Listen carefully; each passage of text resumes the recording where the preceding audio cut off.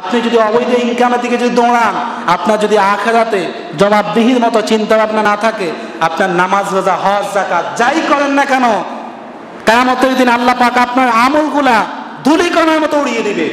আপনার আমলগুলা থাকবে না। আমি আল্লাহ পাক অবৈধ ইনকামকারী যারা বিশ্বাস করে না আখেরাত আমার সামনে জবাবদিহি করা লাগবে কেমতের দিন আমি আল্লাহ পাক তাদের আমলগুলা নষ্ট করে দিব।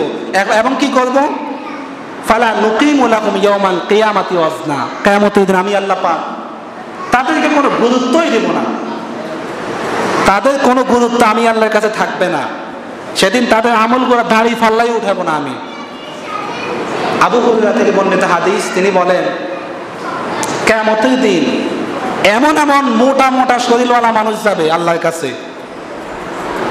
ওদের, ওদেরকে যখন দাড়ি পাল্লা দেওয়া হবে ওদের দাড়ি পাল্লায় একটা মাসির ডানার সমান ওদের ওজন হবে না।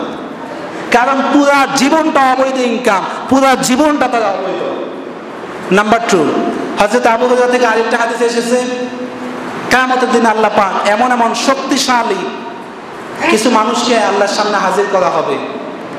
এই মানুষগুলোকে, এদের ওজন যারা পৃথিবীতে ক্ষমতা নিয়ে বড়াই করতো, যে না, আমরা আজীবন ক্ষমতায় থাকব।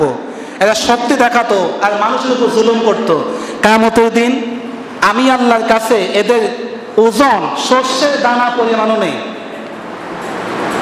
আজ বর্তমানে আমাদের অনেক মুসলিমরা মনে করে যে আমার ইনকাম সোর্স যেদিকে থাকুক না কেন, কোনো সমস্যা নেই। আমি আল্লাহর কাছে মাপ চেয়ে নিব। না ভাই, আপনার আবাদত কবুলের পূর্ব শর্ত হচ্ছে আপনার হালাল ইনকাম আপনার জবাবদিহিতার মন থাকা লাগবে। এই হালাল ইনকাম হালাল ইনকাম আপনাকে শান্তি দিবে। হারাম ইনকাম কোটি কোটি টাকা হলেও আপনাকে শান্তি দিতে পারে না। কেমতের দিন এমনকি যারা হারাম, অবৈধ ইনকামের পথে যাবে, অবৈধ পথে যাবে কেমতের দিন আল্লাহর সামনে দাঁড়ানোকে বিশ্বাস করবে না। এদের চেহারা হবে ইয়ারাফুল মুজরিমুনা বিসিমাহুম ফায়ুখাযু বিন নাওয়াসি ওয়াল আকদাম। আল্লাহ রাব্বুল আলামিন বলেন সুদী লেনদেনের সাথে যারা যুক্ত ছিল, ঘুষের সাথে যুক্ত ছিল যারা, অবৈধ ইনকামের সাথে যারা যুক্ত ছিল, এদের সামনের চুল ধরে এবং পায়ের গোয়ালে একসাথে ধরে তাদেরকে জাহান নামে নিক্ষেপ করব। তাফসির কারকরা বলেন, এদের চেহারা থাকবে কুকুরের মতো, এদের চেহারা থাকবে শিয়ালের মতো, এদের চেহারা থাকবে বাদুরের মতো। আমার ভাইয়েরা, আপনি যদি এই পথে যদি থাকেন, অবশ্যই আজই আপনি ফিরে চলে আসুন।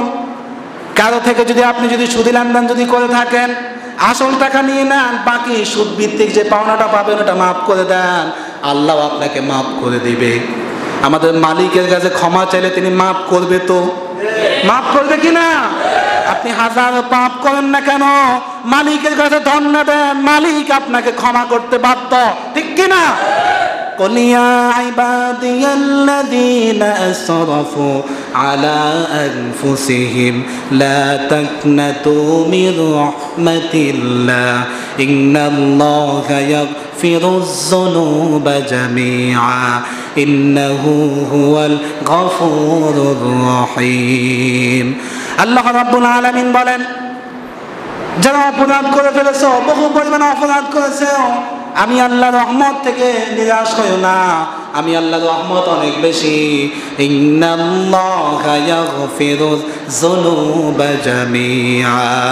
আমি আল্লাহ পাক তোমার সমস্ত অপরাধগুলা মাফ করে দেব। সুবহানাল্লাহ।